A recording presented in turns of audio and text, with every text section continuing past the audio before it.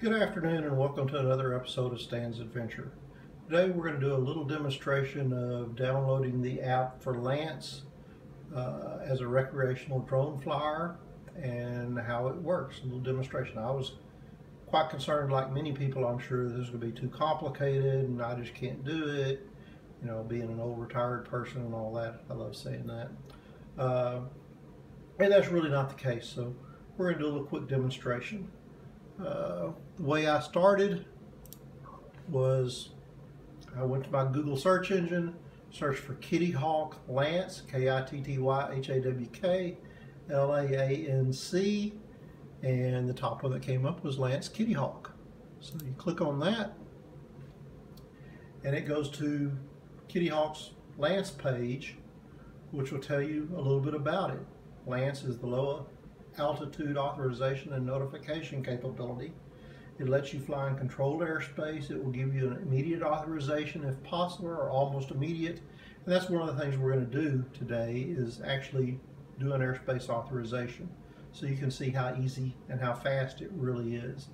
Uh, I can do a airspace authorization faster than I can download the app. Uh, if you want to make some changes to it, it takes a little bit longer, but they're, they're uh, web page here has lots of information. It tells you what LAANC is, why do you need LAANC, how does LAANC benefit a drone pilot, and since now, as of I believe the 23rd, it's applicable to uh, recreational flyers, it's really neat. Here's a demo. I suggest going to this website and looking at the demo. It does help, but I'm going to cover most of the things. Uh, LAANC covers 300 air traffic control facilities, including the one I live in, uh, where the maps are, how far in advance can you apply, 90 days, uh, and various other things.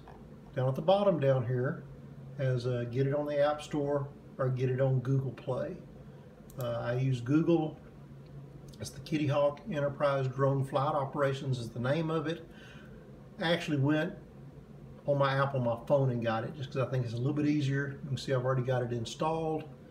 Piece of cake wasn't hard at all to do. Uh, so we're going to look at my phone and, and see if we can find this. I'm not real sure how to do two phones at once, but we'll, we're going to try. So we're going to click on the Kittyhawk app. It pulls it up. Uh, your first time, you'll have to enter some data about yourself, your name, your phone number. It uh, sends the app, sends the authorizations to you through text. It does need to access some functions on your phone. Since I don't use this phone to fly with, it's not going to connect to the app that way. But anyway, if you're at the space you want, and you can see the little grids here, that means I'm in a controlled airspace in the little blue circle there.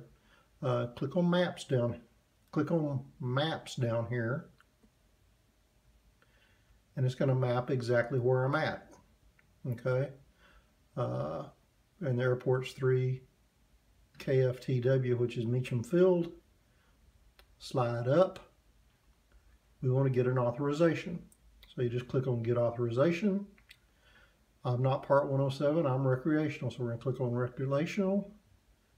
Create your flight area, got it, okay, it's real simple. It's going to map where we're at. I usually give myself plenty of space. You just drag the drag the uh, corners out to where you want to fly. I go way over where I'm going to fly because I can't see this far. And then it's going to ask, how high do you want to fly? The max I can fly here for an immediate authorization is 300 feet. So I'm going to slide the slider up to 300 feet. Okay? Say next. It's originally going to give you from now to 30 minutes from now for authorization. If you want to change that, click on now. You can change the date, change it to tomorrow, say OK. Instead of 326, let's change it to 4.26 p.m. to start with.